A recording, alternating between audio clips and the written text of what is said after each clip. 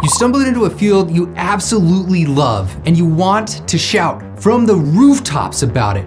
But the jargon you learned in graduate school just doesn't quite sink in. In fact, there's even evidence now that it turns people away from the science that we have all come to love. When you figure out how to solve this problem and you develop the skills to effectively share our field, there's a new world of opportunities that arise kind of like a behavioral cusp. In fact, that's exactly what it is. New worlds become available when you learn how to speak about the science we all love. And jargon just isn't the way to do it. So what can you employ?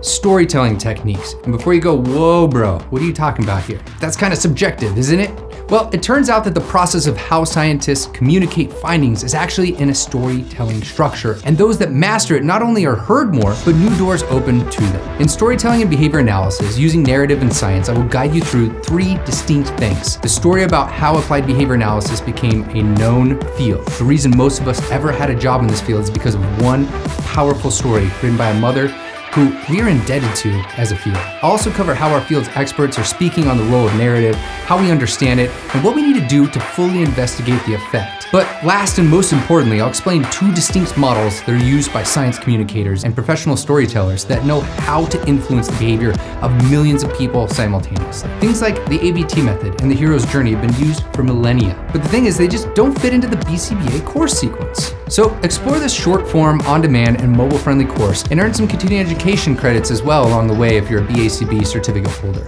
I'll see you in there.